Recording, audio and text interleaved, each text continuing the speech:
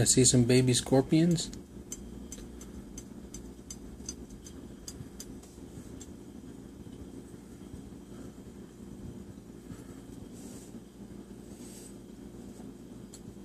Or their mama?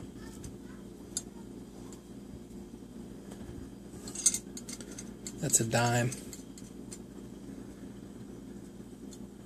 Give you some perspective.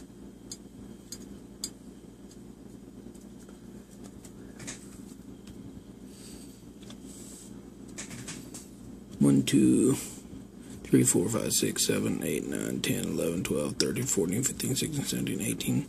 I don't know, there's probably about 30.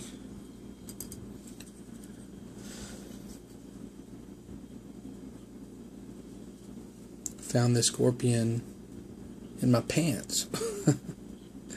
Sleeping a couple nights ago. Crawled in the butt crack of my shorts when I was asleep and stung me about three or four times pulled my pants off, stuck it in a jar with the other scorpions that I've caught in my house. We probably catch about 20 every year. Really sucks. I've had a couple of them crawl in through that hole in the ceiling where the ceiling fan ties, you know, goes into the ceiling just you know just a little space up there. I guess the scorpions can get in your attic and apparently have babies.